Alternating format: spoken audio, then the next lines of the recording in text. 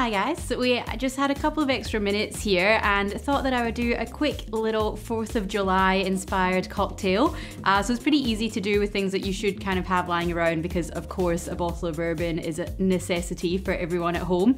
Um, and that's really all you need. It's basically like a shaken up old fashioned but just some uh, lemon and some mint in there as well. So kind of nice and uh, fresh and really kind of whiskey forward. Um, so pretty good if you're having some nice weather over there for your celebrations. Uh, so first of all, I'm just gonna cut up some lemon wedges. You can just sort of half your lemon and then cut it into about three wedges and that's perfect. And those are gonna get squeezed into the tin. Um, and you actually pop them in there so you get like all the oils from the, uh, from the actual skin as well. So Whiskey Smash is a pretty old cocktail. It's from around the same time as sort of your old fashions and mint juleps and things. So sort of just a bit of a play on that. And of course, if you feel like putting any other fresh fruit in here as well, that definitely works. Then I'm gonna do about four or five mint leaves.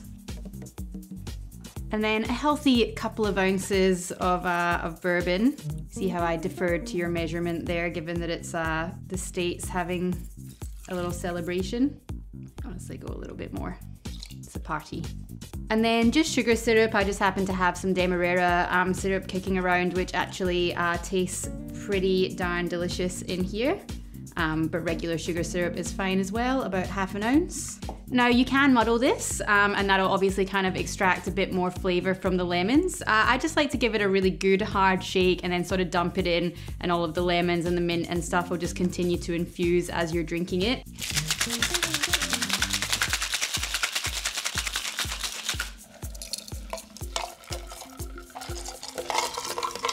It's like a fruit salad in there.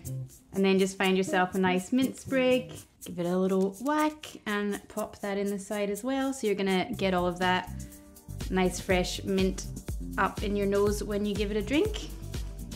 So super easy, not too messy. You can smash out a few of these while you're having your barbecue or whatever. Tastes like independence. Whiskey smash, so now you know.